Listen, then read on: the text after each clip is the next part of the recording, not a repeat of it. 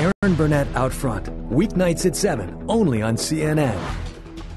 The U.S. Supreme Court had denied a stay of execution. Uh, now, though, Warren Lee Hill has received a stay of execution from a federal appeals court.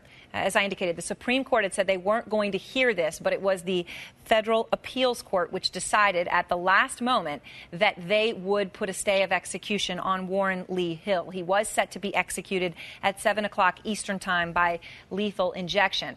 Now, he has an IQ of 70, and his lawyers had argued that that meant he should be deemed mentally disabled and spared under a 2002 Supreme Court decision that bars the execution of mentally disabled inmates.